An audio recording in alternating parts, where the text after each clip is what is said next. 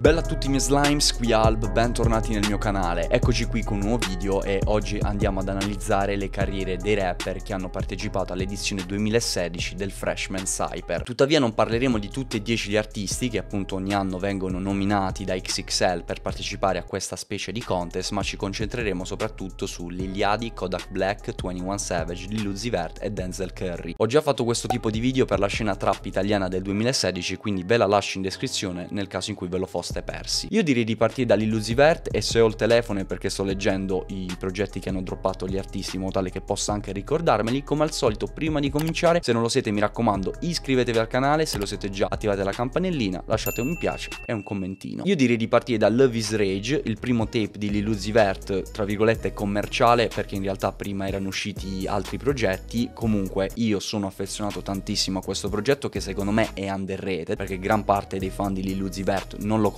comunque non l'hanno mai ascoltato, ma ci sono canzoni assurde, nonché le sue prime hit e vi consiglio vivamente di recuperare gli Lamborghini Dream con Young Tag, ma anche All My Chains o Top. Nel 2016 arrivano i suoi due migliori progetti, o quantomeno quelli a cui io personalmente sono più legato, e sto parlando di L'Illusivert vs The World and The Perfect Love Tape. Entrambi sono bellissimi, hanno una vibe pazzesca e secondo me c'è eh, il prime L'Illusivert, nel senso che le vibes che ho ascoltando questi progetti sono le stesse nonostante sono passati 6 anni. Nel 2017 arriva il suo primo album ufficiale, se non ricordo male, ed è Love is Rage 2. A mio avviso tuttora forse il suo progetto più mainstream, o almeno io ho questa impressione. Vi dico la verità, in generale quasi tutti lo reputano un gran album o comunque molto molto bello, per me è questo, è un bel progetto, ma sinceramente se mi chiedete di fare una top 3 magari dei progetti migliori di Uzi, non lo metto nelle prime posizioni, cioè secondo me è un bel l'album ma non mi ha fatto impazzire, nel senso che quando voglio ascoltarmi l'Illusivert spesso e volentieri preferisco ascoltarmi qualcos'altro, ma anche in questo caso ci sono hit assurde e una su tutte Exo Tour Life. Da Love is Rage 2 in poi c'è una pausa praticamente di tre anni in cui Uzi scompare un po' dai radar e lavora al suo prossimo progetto, quello che poi uscirà nel 2020 e sarà proprio Eternal e Take. Il problema principale di quando si aspetta così tanto tempo prima di droppare un album è che chiaramente le aspettative aspettative crescono sempre sempre di più. E secondo me nonostante questo Uzi quando ha droppato questo progetto ha fatto il botto perché mi ricordo ancora la prima volta che l'ho ascoltato. Innanzitutto uscì tipo alle 6 italiane un orario molto insolito e non parlo delle 6 di mattina ma proprio delle 18 di sera. Ero in macchina stavo guidando vedo che esce metto in play e mi catapulto in un altro universo perché le prime tracce del disco poi sono tutte hard. Sapete che il progetto è diviso in tre parti e se non lo sapete vi lascio lascio il link in descrizione che ho fatto sull'Illusiverti in cui spiego anche questo aspetto che secondo me è molto molto interessante. E in generale dopo un Love is Rage 2 che non mi aveva pienamente convinto qua ritrovo un Uzi che invece mi fa impazzire. Come se non bastasse una settimana dopo arriva anche la Deluxe Edition che in realtà è un altro disco ed è proprio Love vs The World 2 un altro progetto di cui negli anni passati si era parlato molto, si era vociferato ma non c'era nulla di ufficiale. Uzi lo droppa così totalmente a caso. E anche in questo caso come potete vedere qua sopra è un progetto che io personalmente amo. A differenza di Eternally Take dove i fit erano pochi e non erano quelli che la gente si aspettava, qui invece ha messo di tutto e di più e troviamo Chief Keef, Future, Young Gunna e via dicendo. Nel 2020 come se non basta droppa anche un joint tape con Future, un altro album assurdo perché Uzi è uno dei miei artisti preferiti, Future lo stesso e quindi quando è stato annunciato questo joint tape io onestamente sono impazzito. Attualmente Uzi sta anche lavorando al suo prossimo progetto, quello che sarà The Pink Tape e nell'attesa ha droppato Red and White ma non intendo parlarne, vi lascio il link, ho fatto una reaction perché altrimenti ci dilungheremmo troppo. Cosa possiamo dire di Uzi nel, nel suo percorso musicale? Secondo me ha avuto un'evoluzione super coerente e soprattutto, eh, come dire, bella perché alla fine lui eh, da quando ha incominciato a fare musica non è cambiato più di tanto, è sempre rimasto più o meno lui, nonostante il suo sound chiaramente si sia evoluto. A differenza del mercato italiano, in quello americano il rap, la trap vanno forti, vanno in classifica, quindi non c'è bisogno di convertirsi o comunque avvicinarsi più di tanto al pop, così come abbiamo visto appunto nel video della scena trap italiana. E quindi questa è una cosa che a me piace di più perché in questo caso Uzi non si è snaturato, ma comunque ha avuto un'evoluzione che personalmente, ripeto, sono fanboy, a me piace tantissimo. Benissimo, abbiamo parlato solo di Uzi, se n'è andato un quarto d'ora, muoviamoci subito, andiamo con 21 Savage, un altro artista che secondo me ha avuto un'evoluzione clamorosa, ma non voglio fare spoiler, quindi parliamo parliamone meglio alla fine. Partiamo da Savage Mode, trascuriamo i tape che sono usciti prima. A modo suo, secondo me, con questo lavoro ha influenzato un sacco di rapper e ha gettato uno stile per certi versi nuovo, perché lui comunque rappava su questi beat trap di Metro Boomy molto cupi, con una cattiveria, con questa voce molto rauca che quasi non si sentiva. È riuscito a creare un immaginario, non lo so, da serial killer, quindi io questo tape chiaramente lo amo. Nel 2017 esce Issa Album, un album che ai tempi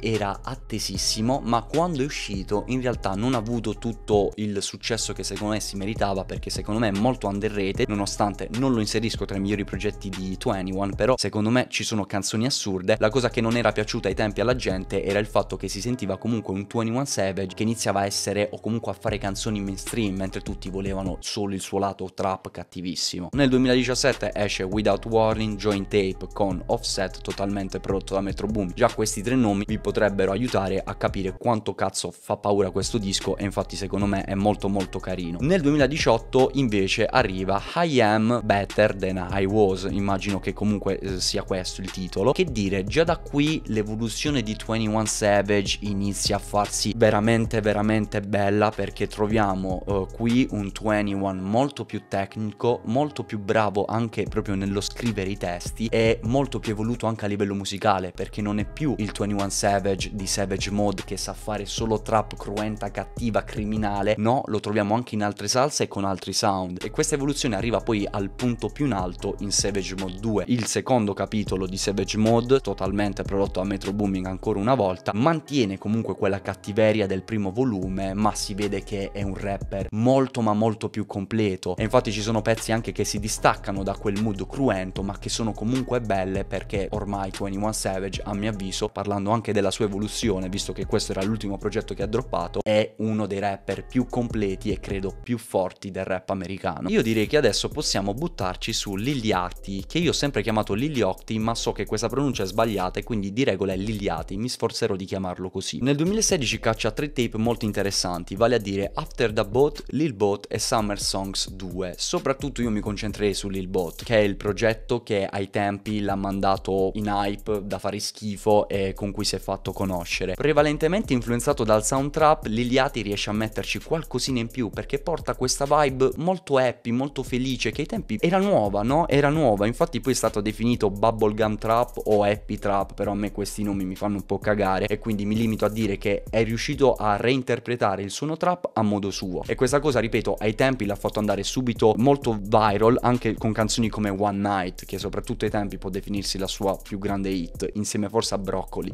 Comunque nel 2017 arriva Teenage Emotion, quello che è il suo primo progetto ufficiale. C'era molto hype a riguardo, io mi ricordo che ai tempi questo progetto lo ascoltai e mi piacque molto, tuttora non lo sento da parecchio, ma secondo me tutto sommato è un bellissimo progetto se non fosse che già da qui le persone avevano incominciato a intravedere in Liliati un, diciamo, un decadimento che poi negli anni vedremo si è sempre accentuato di più. E di conseguenza nel 2018 arriva Lilbot 2, quello che è il secondo capitolo chiaramente di Lilbot, ci mette anche dei feat molto interessanti come Young Boy Never Broke Again, Offset, Lil Baby, Lil Pump e via dicendo. Secondo me anche in questo caso è un tape sufficiente, ok? Non dico che è discreto, ma non dico che nemmeno una merda, come invece molte, molte persone lo definirono ai tempi. Questi sono un po' gli anni più bui del rapper perché perde un sacco di hype e si inizia a pensare che non sia in grado di fare gli album. E questo viene dimostrato da Nothing to Prove, perché scusate il gioco di parole, però anche questo progetto in realtà alla critica, al pubblico non è andato giù, nonostante ancora una volta, secondo me, non è così male. Nel 2020 invece c'è la rinascita. Yati riesce ad uscire finalmente da questo periodo nero e droppa Lilbot 3, che a differenza del secondo capitolo è stato apprezzato molto di più. 19 brani, un po' pesante, però va visto un po' come una compilation e comunque ci sono diverse canzoni interessanti. Segue una deluxe edition, Lilbot 3.5 e poi nel 2021 ha droppato un progetto molto underrated che secondo me avrebbe meritato più attenzione. Sto parlando di Michigan Boy Bot, un progetto in cui ha messo un sacco di artisti che ai tempi erano underrated e invece oggi nel 2022 piano piano si stanno prendendo la scena. E sto parlando soprattutto di Iceware Vezzo, Babyface Ray, Rio da Young OG, Sada Baby, insomma ha messo parecchia scena di Detroit, tra l'altro presto uscirà un video su Detroit, fatemi sapere se lo volete, lo sto preparando e lo farò benissimo. Quindi da questo punto di vista in realtà è stato anche per certi versi un visionario, comunque comunque uno che ci ha visto lungo su questi artisti. Quindi cosa dire della carriera di Liliati? Secondo me, vedendo soprattutto il suo inizio, aveva molto ma molto più potenziale, poteva diventare un artista mainstream proprio che spaccava le classifiche. Come abbiamo visto ha vissuto molto di momenti, momenti in cui era in hype, poi c'è il momento più o meno dal 2017 al 2020 in cui purtroppo aveva perso parecchio hype, però poi è riuscito a tornare nella scena e tuttora secondo me non sarà il miglior rapper americano, ma tutto sommato mi piace. Non me lo ascolto chissà quanto, ma secondo me non è così male. Io passerei a parlare di Kodak Black a questo punto e ci teniamo Denzel Curry per la fine. Kodak Black è un altro artista a cui io personalmente sono molto legato, vi dico la verità, ci ho messo un po' a capirlo. Visto che è una carriera bella densa di progetti, io direi di partire dal 2016 e quindi da Lil Big Pack, che è un progetto che a me è piaciuto, 12 brani, uno dei più brevi perché poi da qui in poi saranno lunghi e infatti così come vediamo nel 2017 c'è Painting Pictures dove arriviamo a 18 brani. Questo album ragazzi è bellissimo e purtroppo Kodak Black è un artista che qui in Italia non è chissà quanto apprezzato e sono anche dell'idea che questo album non molti l'avranno ascoltato. Vi consiglio di farlo perché ha davvero una vibe pazzesca. Troviamo Kodak Black con le sue solite melodie, featuring interessanti, Future, Young Tag, insomma recuperatelo. Ma non è l'unico progetto che esce quest'anno perché arriva anche Project Baby 2, quello che secondo me è il miglior progetto di Kodak Black. Se la, se la batte con Painting Pictures, però qui ci sono alcune delle canzoni migliori di Kodak. È un progetto molto lungo perché sono 19 brani, ma poi c'è un'altra deluxe edition che tipo ne aggiunge 8, ma ci sono canzoni assurde e ripeto, alcune delle sue migliori. Balziamo quindi al 2018 con Heartbreak Kodak, che è un progetto droppato, se non ricordo male, sì, in occasione di San Valentino di quell'anno, quindi il 14 febbraio, ed essenzialmente è un progetto tutto a tema love. Nel 2018 esce anche Dying to Live, un altro bellissimo album di Kodak, probabilmente questo il suo più mainstream, perché qui ci sono canzoni che hanno fatto streaming assurde, mi riferisco a Calling My Spirit o soprattutto Zizi con Travis Scott e Offset, e a me questo progetto piacque davvero tanto ai tempi. Per due anni in questo caso non dropperà nulla, ma tornerà nel 2020 con Bill Israel. Con questo progetto lui celebra il suo divenire un ebreo israelita, cambia religione e infatti cambia anche nome all'anagrafe. E nel 2022 arriva Back for Everything, un altro album ufficiale, secondo me molto molto carino, uno non saprei se dei migliori usciti quest'anno, però sicuramente underrated. Cosa possiamo dire dell'evoluzione di Kodak Black? Che secondo me lui è un artista con un potenziale davvero davvero grande che però purtroppo non abbiamo mai visto al massimo della sua espressione a mio avviso per via del suo essere proprio Kodak Black un po' coglione è stato moltissime volte in prigione e quindi secondo me non abbiamo ancora visto il miglior Kodak Black ma chissà speriamo che abbia messo la testa a posto e rimane solo a questo punto Denzel Curry come